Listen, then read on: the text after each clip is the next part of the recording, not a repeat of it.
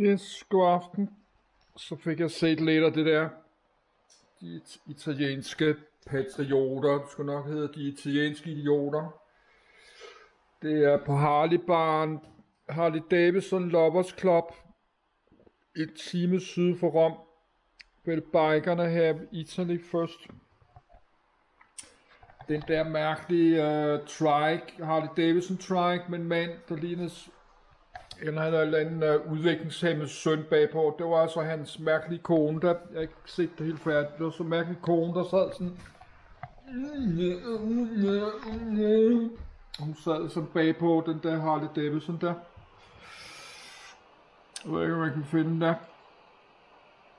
Nej, man kan ikke rigtig, jeg kan ikke spole, det er ikke nogen video det her, man kan ikke sådan spole i det der. Sæt forfra, kan man måske godt. Så skal man have lyden af der. Så skal jeg finde, jeg har ikke siddet og optage det hele, jeg ved ikke om man kan sådan Og der er sådan en klip, hun ser så mærkelig ud, der er så godt nok mærkelig kone har der. Det er ham. Ja, han er barn, men jeg kan ikke nå det, for det der er altså ikke noget video. Det er jo den der træk der. Der ser man den bagfra. han har sådan en mærkelig kone, der sidder der.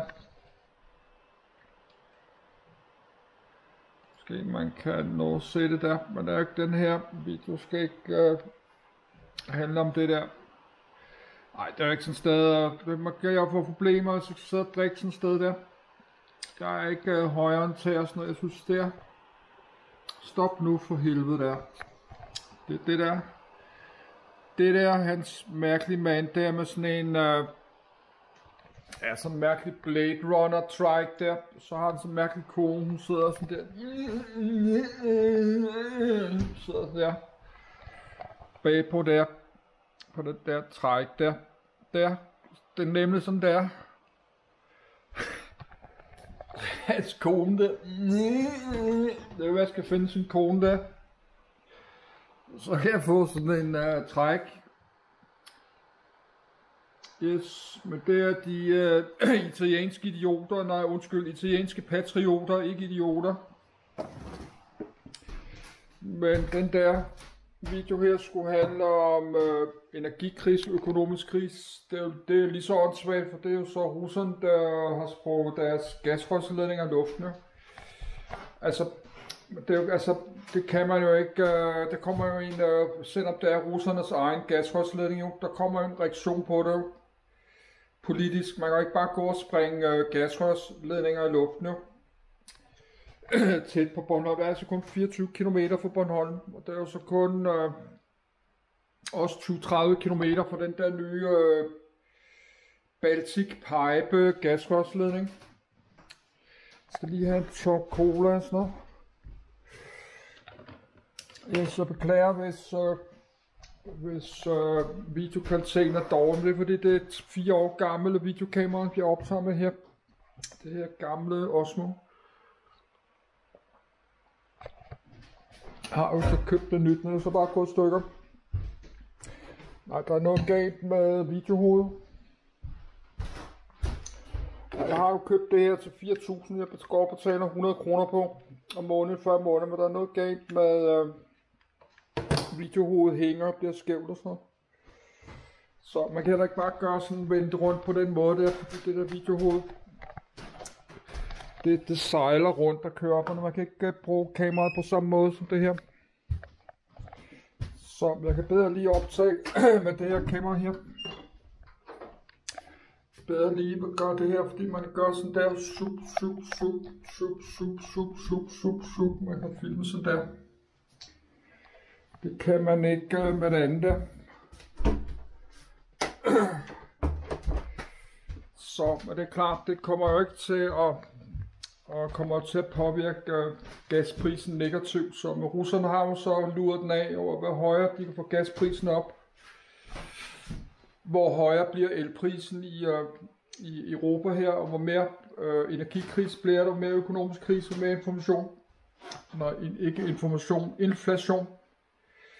Så det russerne vil jo godt have så meget økonomisk kaos som muligt her i Europa, og have så meget energi, energikris som muligt, så meget inflation. Jeg har simpelthen læst, der er 25% inflation i de baltiske lande, som i Estland og Litauen. De har haft 25, 25 25 procent inflation på et år. Det er altså det er rigtig meget der.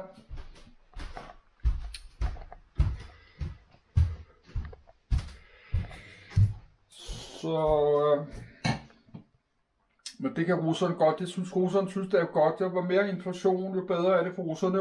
Og hvor mere energikris, hvor mere nød og elendighed i, øh, i Rusland. Det er jo en hævn for alle de der sanktioner mod Rusland.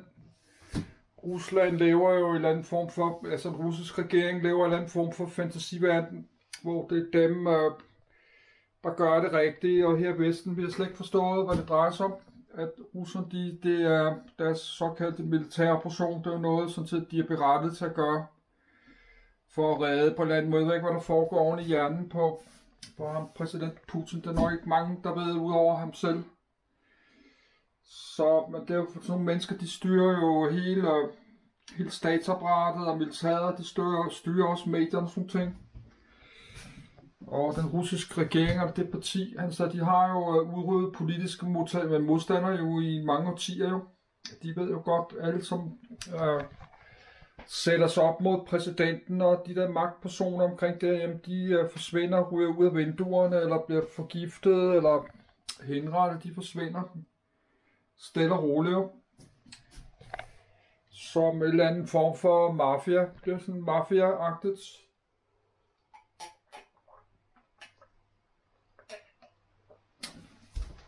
Så, men nu vil jeg, uh, der så to videoer med det der. Nu vil jeg hælde de der krumme, jeg har spist de sidste kammerjunker her. Og så vil jeg lige lave en ekstra video på det der. Ukraine, det slet ikke se, men lige se om der er noget øh, på Danmarks Radio forside. Men statsministeren var lang tid i øh, TV-avisen nu direkte, og det er klart, det er jo noget, der er mange, der bliver bekymret jo.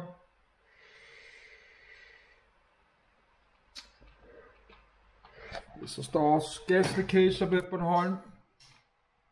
Mette Frederiksen om gaslækager, det var ikke tale om et uheld.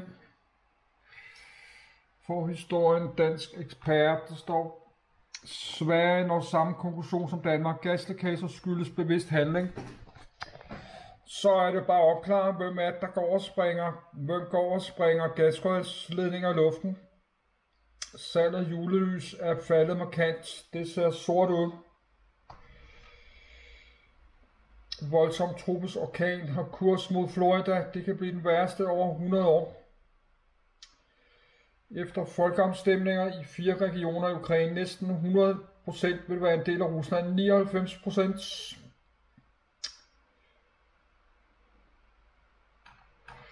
Så lad os lige lave øh, den sidste, min øh, sidste video.